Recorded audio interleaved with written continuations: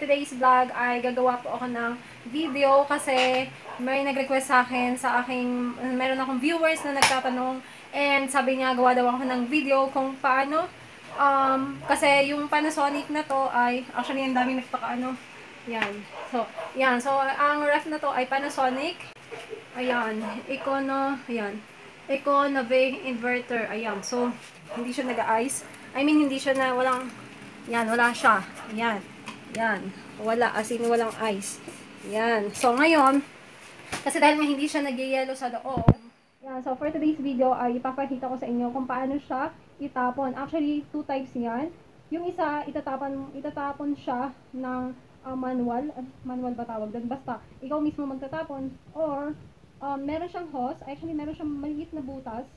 I-sasalpakan mo siya ng hose. Tapos, ida-direct mo siya sa labas. Parang yung aircon lang. Di ba yung aircon, nagtatapon din siya ng tubig, di ba? Kapag ka ano. Pero maliit lang naman, konting tubig lang. Tapos, nilalagyan na lang ng hose, parang drainage. Ayun, para doon siya lalabas palabas ng bahay mo. So, ganun din yung ref na to. So, nilalabas siya ng tubig. Meron siyang butas na pwede mo lagyan siya ng hose. Ay, andito ako. So, nilagyan ko siya ng pailaw kay para, yan, makikita niyo. At so, yung likod ng ref. Ayan. So, ito yung likod ng ref. Ganyan. So, meron akong viewers na nagtatanong kung saan daw ilalagay yung wire. Hindi ko alam kasi isa lang naman yung wire niyan. Ito lang. So, yan. Yan na siya. So, yan lang yung wire. So, ayan. Ito yung tubig na sinasabi ko. Ayan o, may tubig siya. Ayan. So, yan. Ayan o, may tubig. Tapos, andito yung motor niya na nasa baba. Ayan. Ayan yung motor niya. So, meron siyang nakaprotekta na ganito. I think, na para kung sakaling umapaw or kasi may tubig, di ba? Yan tubig. So, nilagyan nila ng ganito kasi baka masunog yung plastic. Ayan o, baka masunog yung plastic kapag ka mainit yung motor. Ayan o, nandyan yung motor niya. Meron akong viewers nagtatanong, okay lang ba daw tanggalin yung ano kasi tinanggal daw niya to eh.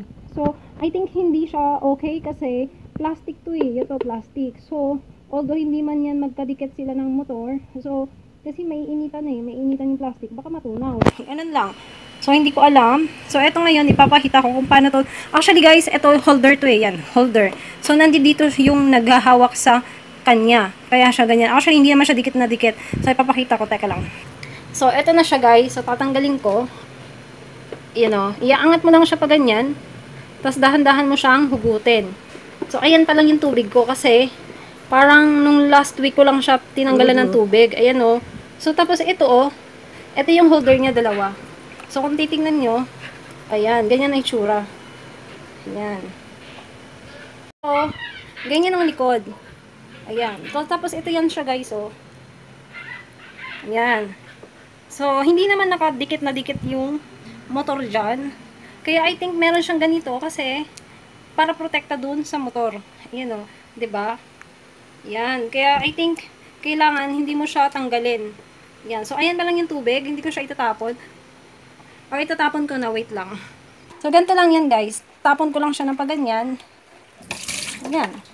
Oops. Pumasok sa loob. Yan. So, ganyan lang. Tapos, ibabalik ko na siya ulit doon. So, kung mapapansin nyo, meron siyang hose yan. Yan yung hose niya. So, pwede mo siyang dugtungan ng hose na idadirect mo palabas sa labas ng bahay nyo or pwede rin yan idadirect mo dun sa uh, basta, basta sa labasan or sa lababo na hindi ka na mag um, yung hindi ka mag-aalala na baka ano, yung hindi mo mababantayan na baka tumap or umapaw, ayan. So, kung ma madudugtungan mo siya ng hose, mas maganda. Ayan, sa pagbalik naman, isasabit mo lang siya dyan, magkabilaan, paangat.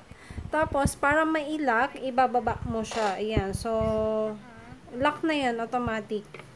Yan lang. Yan na, nakahawak na siya dyan. Yan. Yan.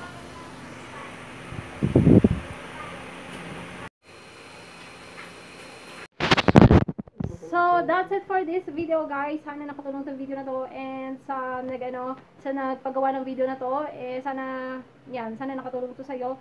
And, yan. So, kung nagustuhan mo itong video na to, please give me a thumbs up.